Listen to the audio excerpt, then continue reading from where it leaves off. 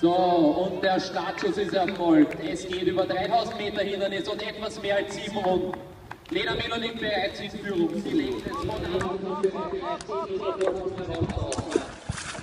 hat sich ein Duo mit Bettina Bachel und mit Jasmin Zweimüller gebildet.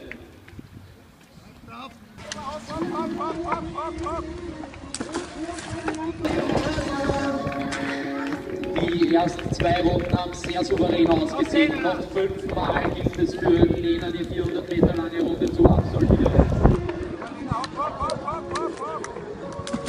Zwei Müller sind bereits wieder auf der Zielgerade.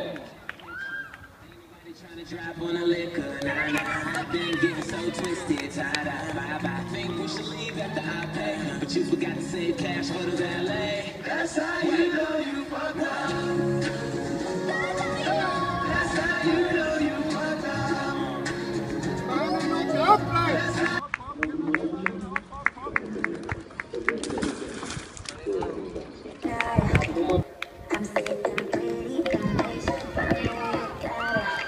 for Duki said.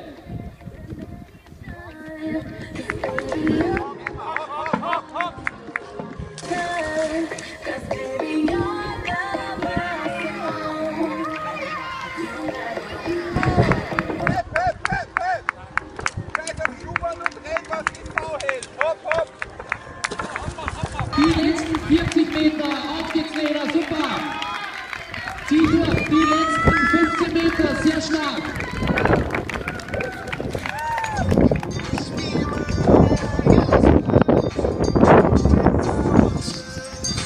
Stadtauto Schweiz sichern.